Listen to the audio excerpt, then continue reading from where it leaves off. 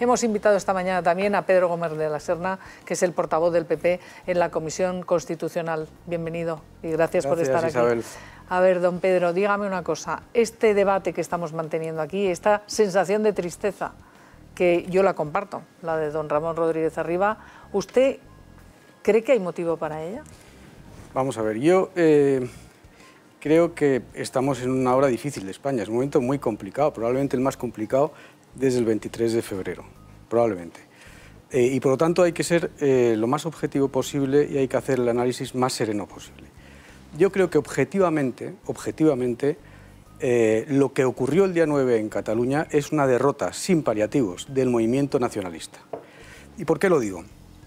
Llevaban dos años preparando este proceso habían intentado movilizar a toda la sociedad catalana. El resultado de todo esto, utilizando medios públicos, medios privados, instituciones, para instituciones, asociaciones, etc., es que dos tercias, dos terceras partes de la sociedad catalana le ha dado la espalda al proceso. Eso es importantísimo y eso tiene que ser recibido por la sociedad catalana como una victoria de los no nacionalistas porque es, en mi opinión, lo que ha ocurrido. ¿Qué ocurrió, por ejemplo, en Quebec, cuando se les convocó a votar eh, en el proceso de secesión de allí, que votó el 94% de la población del censo electoral, el 94%. ¿Qué ocurrió en Escocia? Que votó el 85%. ¿Qué ha ocurrido en Cataluña? Que en un proceso sin garantías, en el que no se sabe siquiera cuántos han votado, las mejores cifras, las que dan los organizadores y los que controlaban el proceso, les da un tercio de la población, un 30%. Es que es irrisorio. Es que mm, la, sentencia del Tribunal Supremo de Canadá y toda la doctrina constitucional y de la ciencia política, el derecho político y derecho constitucional, dice que uno no se puede embarcar en un proceso de esta naturaleza ni siquiera con la mayoría absoluta de la voluntad del censo electoral. Y aquí estamos hablando de un 30% mal contado en el que la gente ha podido votar varias veces, en el que no ha habido ni, eh, eh, junta ni, administración electoral, ni posibilidad de recurso electoral, ni interventores de los partidos, ni administración electoral, ni garantías de ningún tipo.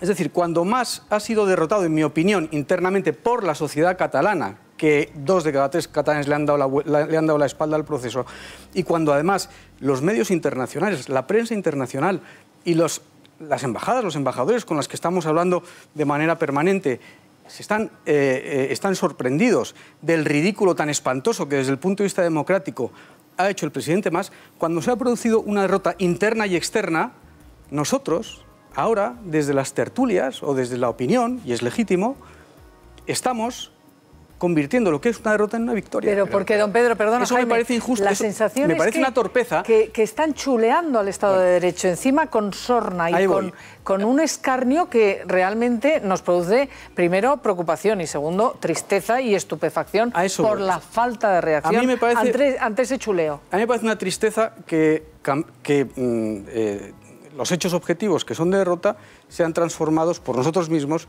en una victoria. Eso en primer lugar. Y luego, en segundo lugar, yo estoy completamente de acuerdo eh, con que me ha apreciado la palabra, es decir, estamos en un momento de unidad. Es decir, en esta hora tan complicada de nuestro país, yo creo que eh, lo que tenemos que hacer es estar unidos a las instituciones del país, no solamente al gobierno, al presidente del gobierno, al presidente del gobierno, al gobierno, al Tribunal Constitucional, al Poder Judicial, es decir, a las instituciones del país, porque lo que tenemos enfrente es muy complicado. Y yo creo que flaco favor le hacemos al país si nos unimos o damos cauce a una operación de acoso y derribo del presidente del gobierno. Me parece que es lo menos inteligente desde el punto de vista del patriotismo civil, Jaime, desde el punto de vista de sostener el Estado. Preguntas ahora, eh, pero hacemos una brevísima pausa.